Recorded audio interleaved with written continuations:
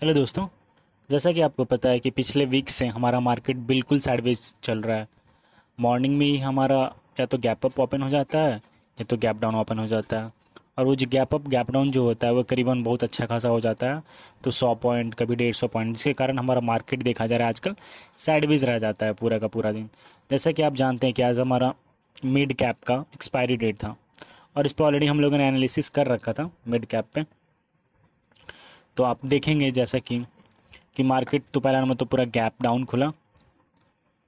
Gap down के बाद आप देखेंगे कि मार्केट बिल्कुल एक रेंज में मतलब जो मॉर्निंग जो कि फ़र्स्ट कैंडल पे जिन्होंने यदि प्रिडिक्शन करके जिन्होंने यदि ट्रेड ले लिया होगा, और पता नहीं किस एनालिसिस पे प्रिडिक्ट करते हैं, मैं तो हमेशा बोलता हूँ कि नाइन थर्टी के बाद ट्रेड लेना चाहिए, क्योंकि मार्केट थोड़ा स्टेबल हो जाता है। तो जिन्होंने गलती से भी यदि ट्रेड पुट में ले लिया होगा तो उन्हें पाँच दस पॉइंट बीस पॉइंट कैप्चर कर लेंगे उसके बाद आप देखेंगे कि मार्केट बिल्कुल एक साइडवेज हो गया, क्योंकि यहाँ पे ट्रेड करना बिल्कुल ही मतलब कोई पॉइंट्स आपको नहीं मिलने वाला। देखिए ना एक कैंडल ग्रीन एक कैंडल रेड कैंडल के ऊपर कैंडल कोई नहीं बना मतलब पूरा दिन जो मिड कैप है, आप देख पा रहे होंगे कि कोई भी कैंडल के ऊपर कोई कैंडल क्लोजिंग नहीं है कैंडल के नीचे कोई कैंडल क्लोजिंग नहीं है। बिल्कुल सिंगल सिंगल कैंडल बनते रहा बनते रहा।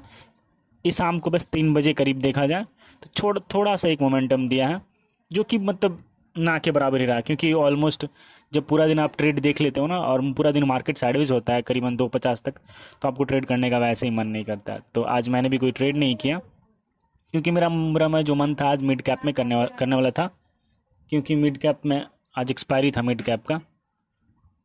तो तो यही था आज का पूरा स्नैरियो चलिए बात करते हैं नेक्स्ट डे का यदि मिड कैप में यदि आप ट्रेड करते हैं तो आप किस किस पॉइंट पे ले सकते हो? अब पता नहीं, अभी तो वार चल रहा है मे बी उसके कारण शायद जो हमारा मार्केट है वो गैप डाउन खुल रहा है। तो देखिए, कल का जो रेंज है, यदि मार्केट अब क्या बोला जाए, कल यदि गैप अप खुलता है तो गैप अप में देख रहा है, एक ही रेंज में मूव करते रह जा रहा है। यदि इस, इससे पहले भी देखेंगे आप, एक ही रेंज में मूव कर देगा मतलब कहीं पे देता ही नहीं है मतलब आजकल मार्केट कहीं दे ही नहीं रहा है। लेकिन फिर भी एनालिसिस कुछ तो करना बनता है। तो देखिए, यदि मार्केट गैप अप खुलता है मोस्ट प्रोबेबली क्योंकि गैप फिलिंग बहुत ज़्यादा गैप है। गैप फिल तो मार्केट कर सकता है।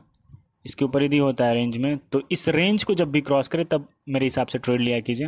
देखिए, ये रेंज क्रॉस करने की कोशिश किया, लेकिन एक अगले कैंडल में ही मार्केट फिर से वापस आ गया।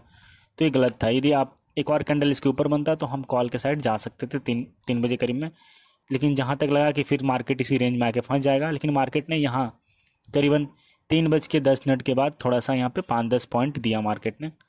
तो वो भी कोई कितना एनालिसिस कर सकता है? उतना हंड्रेड परसेंट एक्यूरेसी किसी के पास नहीं है।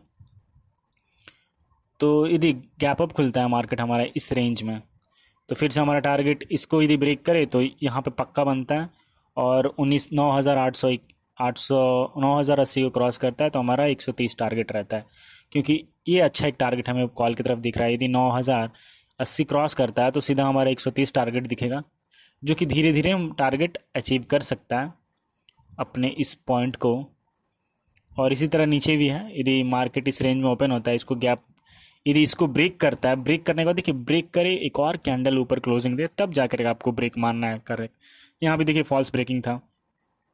यहाँ देखिए ब्रेक करने की कोशिश किया, लेकिन अगले कैंडल में ग्रीन बन के फिर सीसी रेंज में आ गया।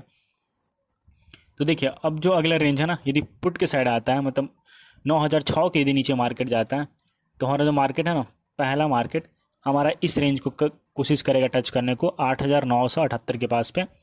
उसके बाद एक और टारगेट है छोटे छोटे टारगेट्स हैं। जैसा कि मार्केट अभी देखा जा रहा है, उसके हिसाब से मार्केट बड़ा बड़ा टारगेट तो कोई अचीव ही नहीं कर रहा है।